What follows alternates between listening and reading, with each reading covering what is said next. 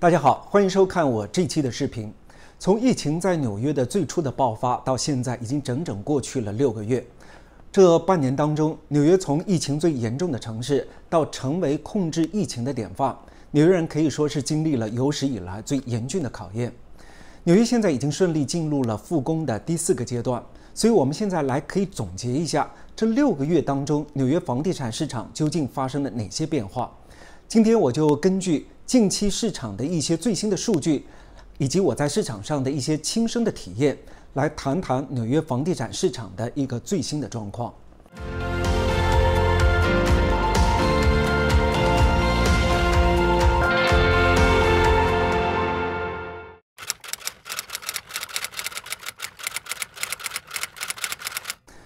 首先，我们来说说曼哈顿的租赁市场。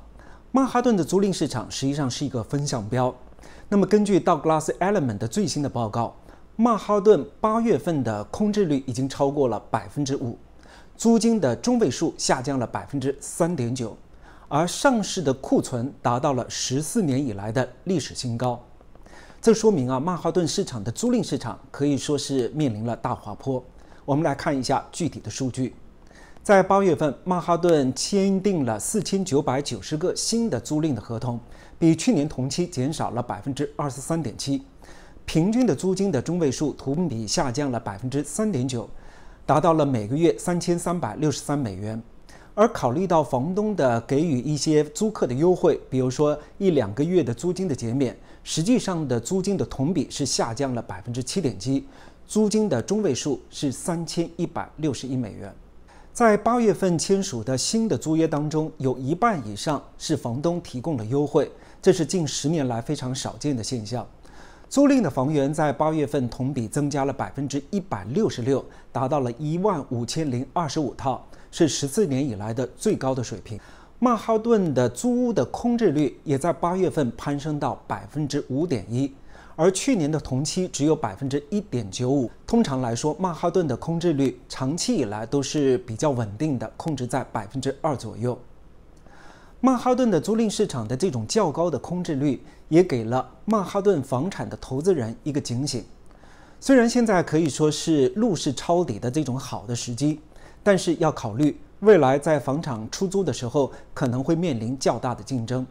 因此，现在在购买投资房的时候，就应该充分考虑以后出租的时候的定价，以及现在购买这个房源是否未来在租赁市场有较强的优势。曼哈顿较高的租房的空置率，还说明了的确确实有不少人搬离了这座城市。再加上九月份大多数高校还是实行网课教学，因此没有很多的学生回到城市租房。在其他地方租赁市场表现还是不错的。比如说，布鲁克林的租赁市场就好于曼哈顿，新签署的租赁的数量虽然同比下降了百分之二点二，而租金的中位数仅下降了百分之零点七，每个月的平均的这个中位数是两千九百九十五美元。在皇后区西北部以长岛市为中心，该地区大多数的豪华的出租公寓中位数仅下降了百分之零点二，达到每个月四千九百三十美元。而整体的租金的中位数下降了百分之五点五，为每个月两千七百九十六美元。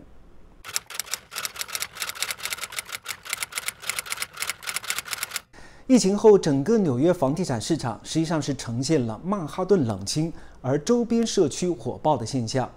往郊区搬家以及购房，在疫情期间确实是成为了一种趋势。与曼哈顿一河之隔的布鲁克林。正是受惠于这种从城市中心搬离的风潮，所以房产的交易可以说是急剧的攀升。光是在八月份，购房的合同的签约数就比上一年增长了百分之一百八十二。而在长岛、Westchester 以及汉普敦这些郊外的社区，房价都是不降反升，有些甚至超过了去年房价的一倍。但是最新的报告也显示，八月份。在纽约郊区签订的购房的合同数量比前几个月都开始下降，这表明与几个月之前相比，往郊区购房的热潮正在逐渐的消退。在长岛市，八月份有三千三百一十七个新签订的合约，那么就比七月份减少了三百二十个。Westchester 八月份也签订了七百八十份的合同，但是比七月份减少了二百零七个。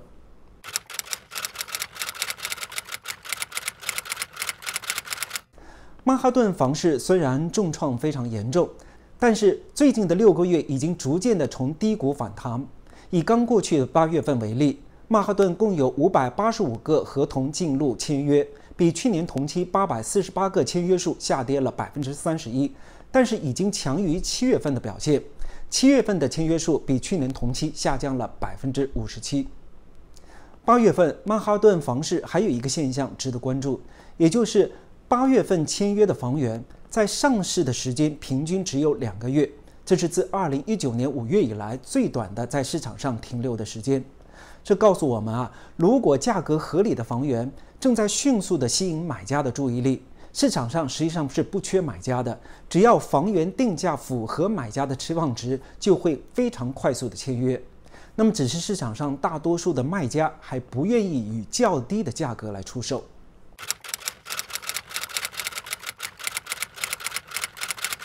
曼哈顿的高端房源市场也在复苏当中。从八月十七号到九月五号这连续三个星期，四百万以上的房源出现了两位数的签约量，分别是十四个、十三个和十一个。和去年同期相比，整个签约数差不多。这三个星期之内，最贵的一套房源是位于西村的一套公寓，以三千三百万成交。那么这些四百万以上的高端的房源，基本上的成交价折扣都在百分之十五左右。以我的观察来说，目前市场上的房源还是比较充足的，而且也不缺乏买家。主要还是买家和卖家之间的期望值差距比较大。现在双方都处于一种拉锯的状态，但是市场上也出现了少数割喉销售的策略，一些房源主动降价，而且有的降价的幅度非常的大。那么这一些都是要引起买家的关注，从而引发这种竞价战。比如说像曼哈顿下城 W Hotel 一个五十一 D 的这样一个单元，那么在二零一四年的时候，它是以二百二十五万元成交的，但是现在它拿到市场上标价只有九十九点五万美元，这个降价的幅度超过了百分之五十以上。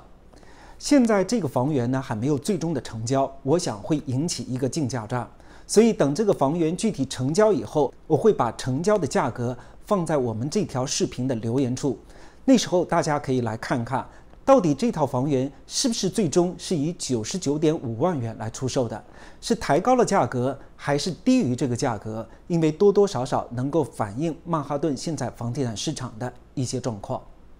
今天我主要还是以曼哈顿房地产的一些数据为例子，来说明整个纽约房地产市场的一个大致的状况。因为曼哈顿房市是整个纽约房市的一个风向标以及缩影。如果曼哈顿房市发展的良好，就说明整个纽约房市以及经济都向好的方向发展。